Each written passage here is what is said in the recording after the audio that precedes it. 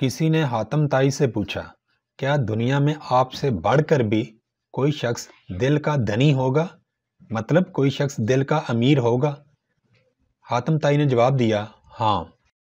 एक दिन मेरे यहाँ चालीस ऊँट ज़बा किए गए थे और हर खासो आम के लिए इजाज़त थी कि वो आए और खाना खाए।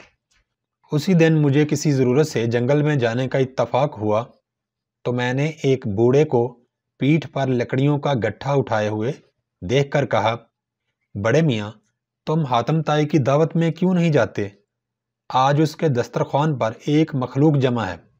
उस बूढ़े आदमी ने जवाब दिया, जो आदमी खुद कमाकर खा सकता हो, वो हातम ताई का मोहताज क्यों हो? हिम्मत में वो बूढ़ा शख्स मुझसे बहुत ज़्यादा बड़ा हुआ था और दिल का अमीर था। इस कहानी से सबक हमें ये मिलता है कि किसी की मोहताजी से बेहतर है कि अगर हम कमाने के काबिल हों तो हम खुद कमाएँ और खाएँ।